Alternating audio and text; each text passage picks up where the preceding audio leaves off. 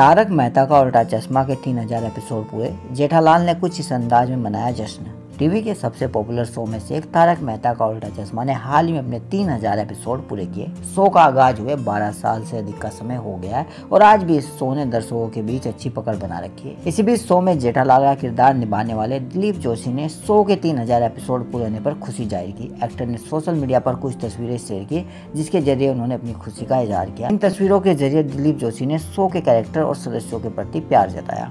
पहली तस्वीर शेयर करते हुए दिलीप जोशी ने लिखा, इन सब की शुरुआत हुई तारक भाई की दुनिया से, उल्टा चश्मा के आइकोनिक कैरेक्टर से। ये कार्टून जेठालाल का है, जिसके साथ मैं खड़ा हूँ। धन्यवाद तारक भाई, आप बहुत ही याद आते हैं। आपकी हँसी ने हम सबको बाँध रखा है। शो के प्रोड्यूसर आसित मोदी के साथ फ़ोटो शेयर करते हुए दिलीप जोशी ने लिखा, मेरे लिए भाग्यशाली, मेरे पास आसित भाई एक लंबे समय से दोस्त और एक अनुभवी निर्माता के तौर पर है, जिन पर मैं बहुत ही भरोसा करता हूँ। उनके साथ मैंने पहले भी काम किया, उन्होंने ही मुझे जेठा का किरदार निभाने का प्रस्ताव दिया। धन्यवाद आसित भाई। तारक मेहता का उल्टा चश्मा के तीन हज़ार एपिसोड पूरे होने पर खुशी ज़ाहिर करते हुए दिलीप जोशी ने लिखा, ये ठीक ही कहा गया कि अगर आप जो कर रहे हैं, उससे प्यार नहीं करते तो ये काम नहीं करता। मैं जिस शानदार टीम के साथ दिन प्रतिदिन काम कर रहा हूँ, उसने मुझे अपने काम से प्यार करना सिखाया। तो धन्यवाद टीम, तारक मेहता का उल्टा चश्मा।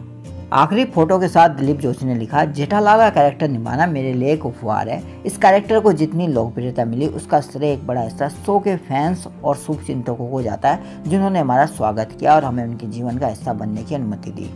खबर अच्छी लगे तो लाइक करें और सब्सक्राइब करना ना भूलें। थैंक